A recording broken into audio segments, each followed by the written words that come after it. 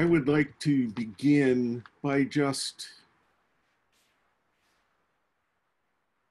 warning some folks that this morning deals with some very difficult uh, subjects, loss, and if you feel the need to turn off your video and grab some tissues, or if you just find it too difficult, we'll understand if you need to leave the room this morning because living with loss is difficult.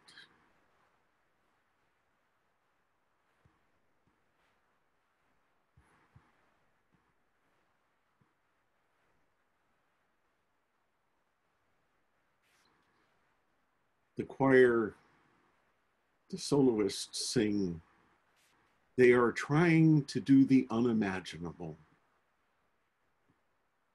They're trying to live with a shattered trust between Alexander and Eliza because of the revelation of the affair between Maria Reynolds and Alexander.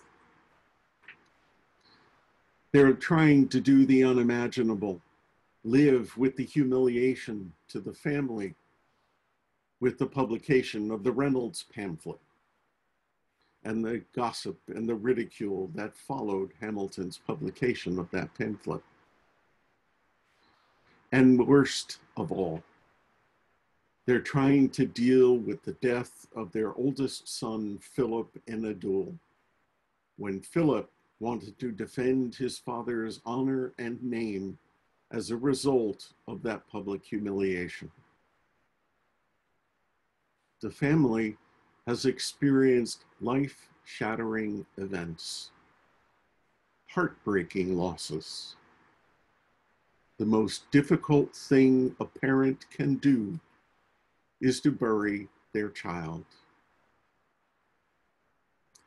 Angelica sings the summation of the circumstances there are moments that the words don't reach. There is suffering too terrible to name.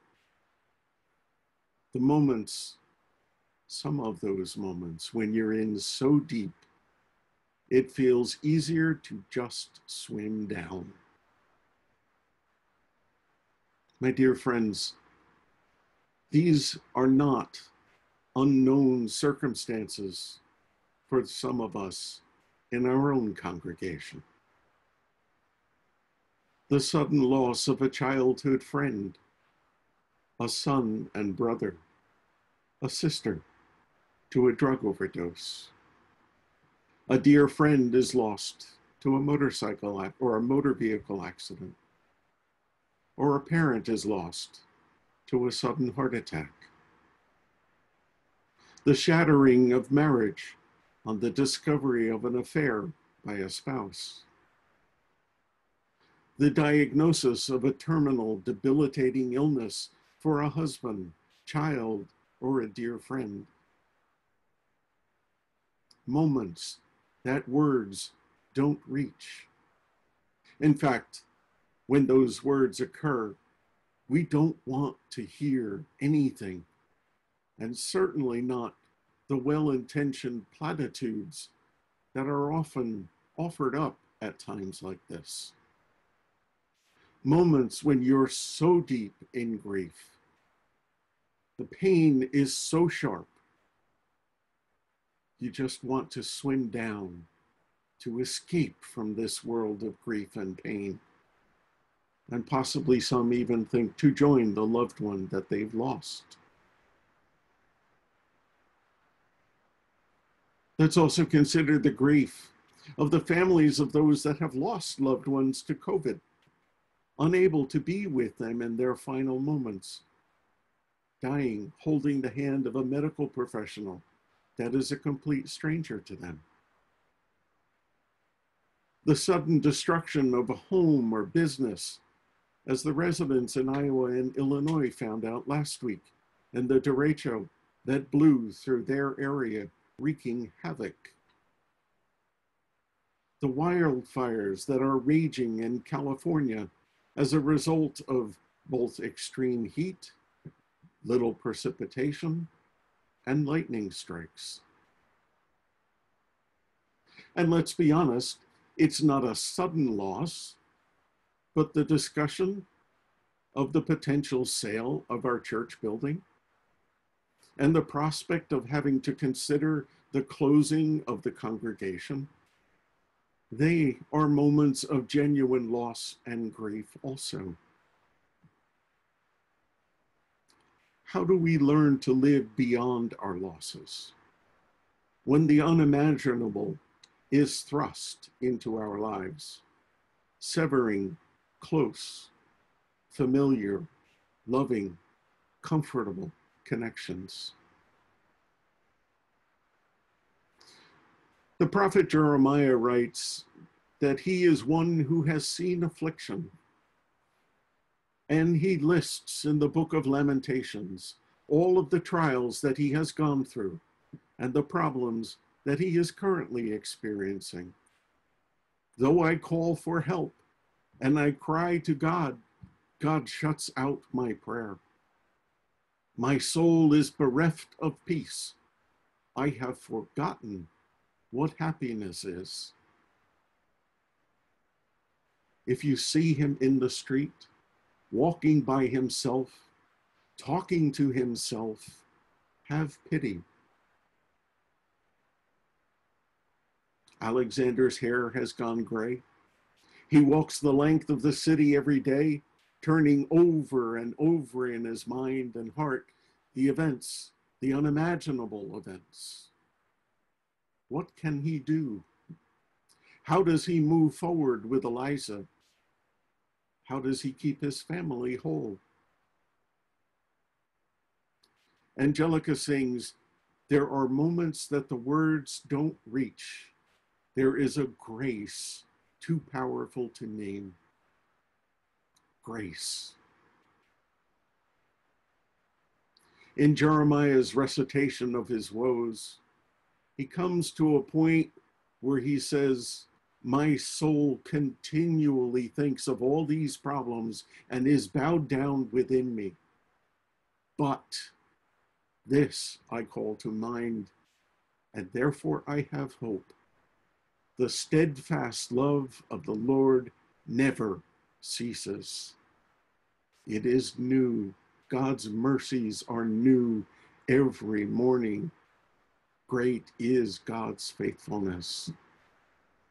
With all that is going wrong now, Jeremiah says, I remember in the past, God was faithful, compassionate, loving. In today's reading from Psalm 103, the psalmist sings the same song as Jeremiah. Bless the Lord, O my soul, and all that is within me. Bless God's holy name. In dark moments of deep despair, that is when it is so vital that we have an ongoing, active relationship with God with the divine to fall back on. A relationship with God is not a switch we can turn on and off when we need it. God is not a vending machine that when we enter the right prayer, our grief gets taken away or our problems are instantly solved.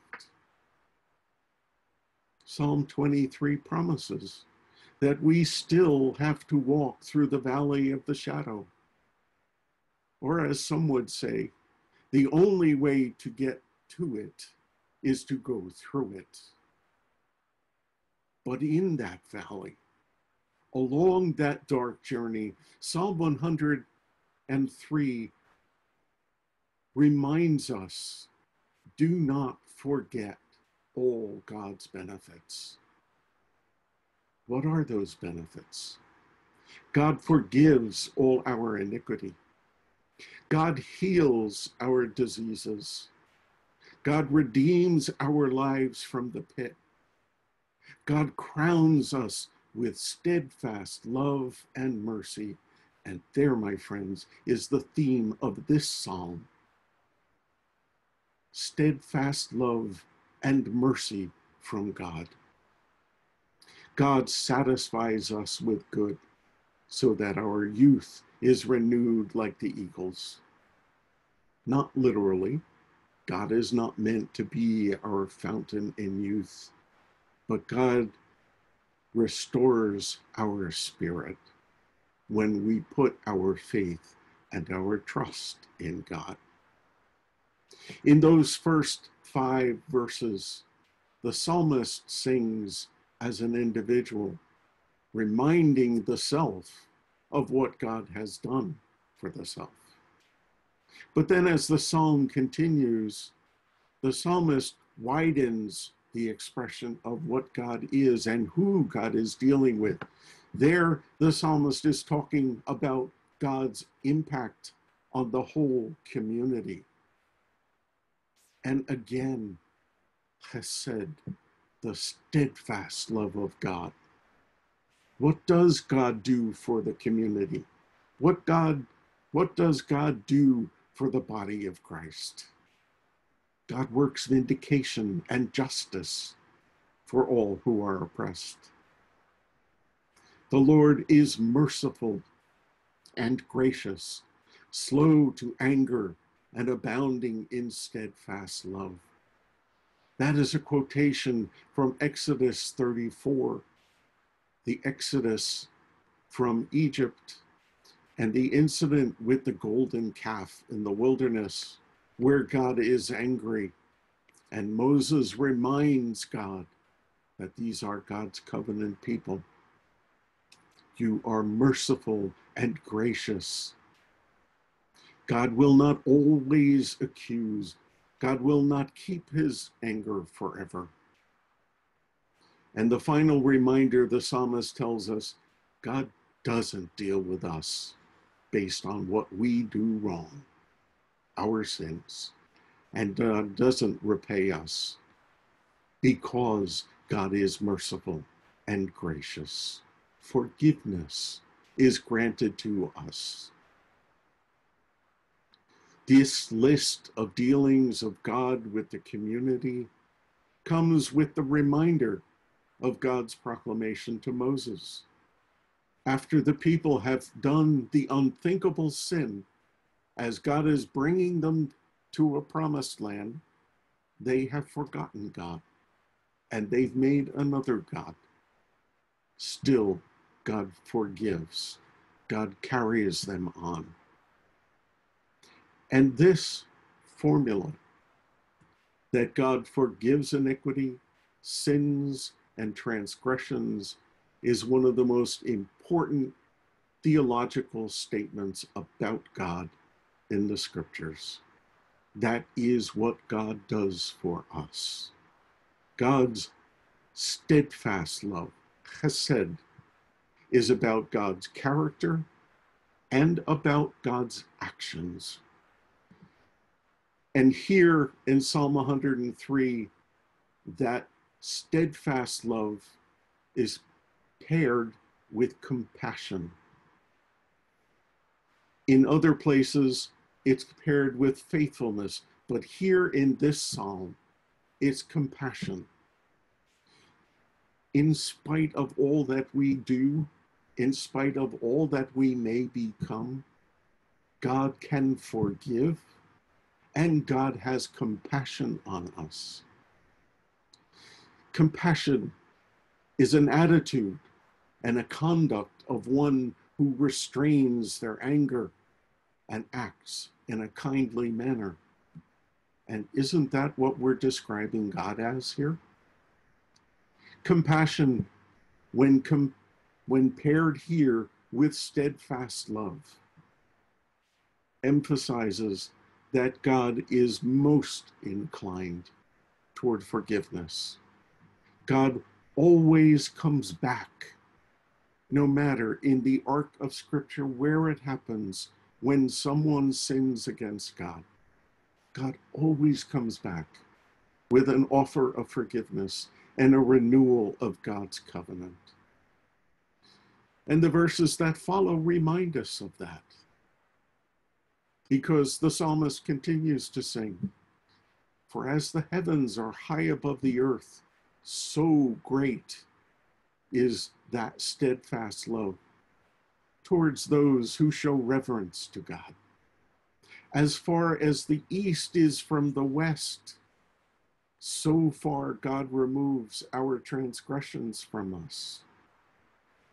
As a father, as a parent, has compassion on their child and their children, so God has compassion on us when we reverence God, when we have a relationship with God. For God knows how we are made, and God remembers that we are dust.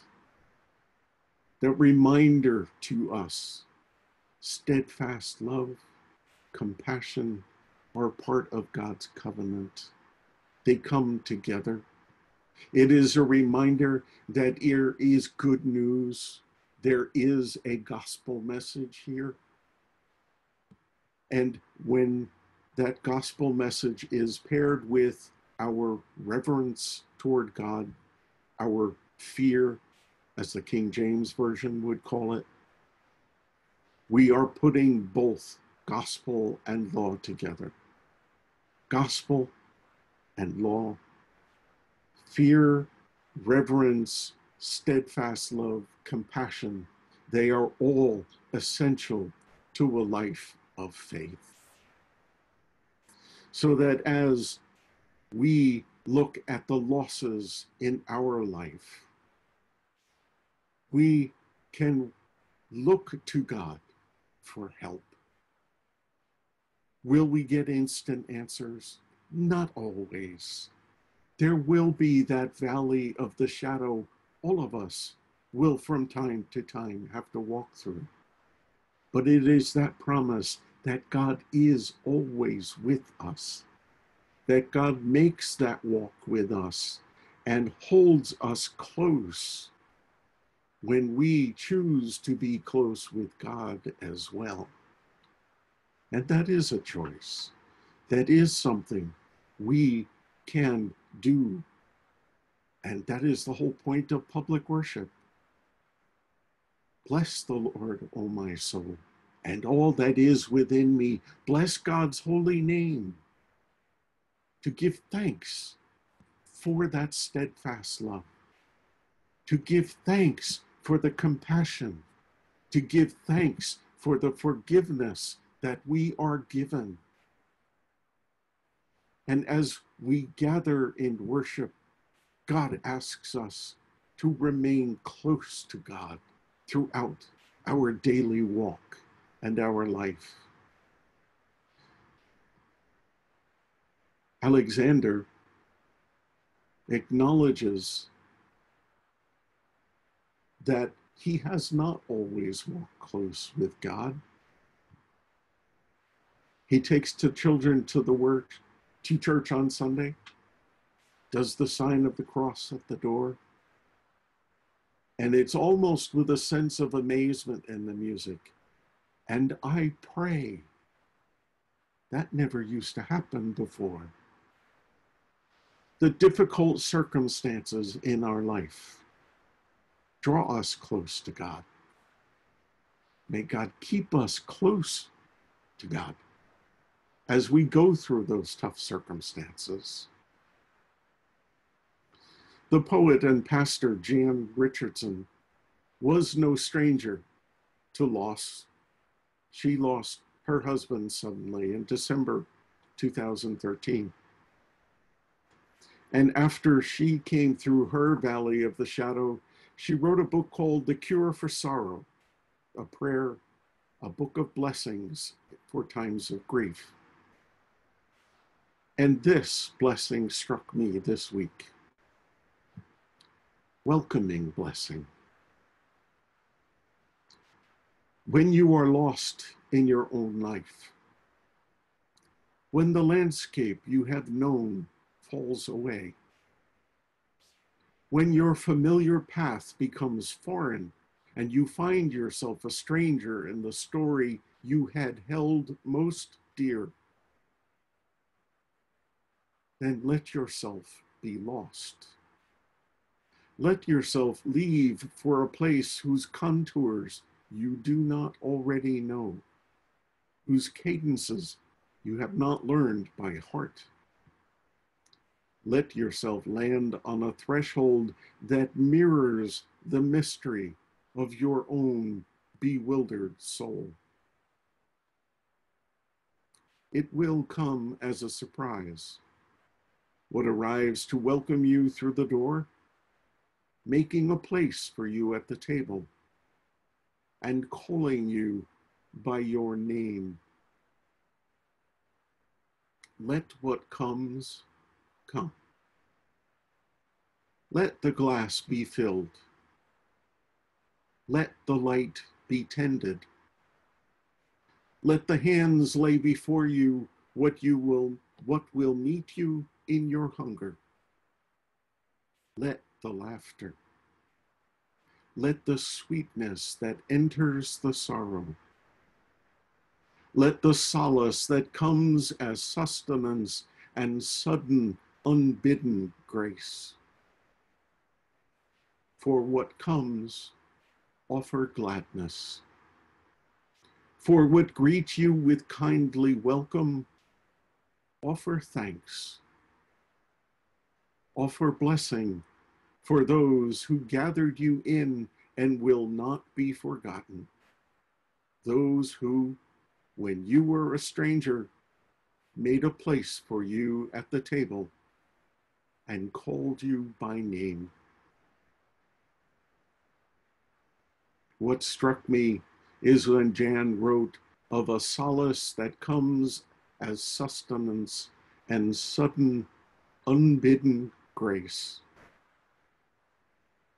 Angelica sang of a grace too powerful to name. And the psalmist sings, The Lord is merciful and gracious, slow to anger and abounding in steadfast love. Grace, unmerited. Love, unconditional. Ever faithful, ever sure. That is our God. In spite of all that we may do, in spite of all who we are, the Lord is merciful and gracious, slow to anger, and abounding in steadfast love.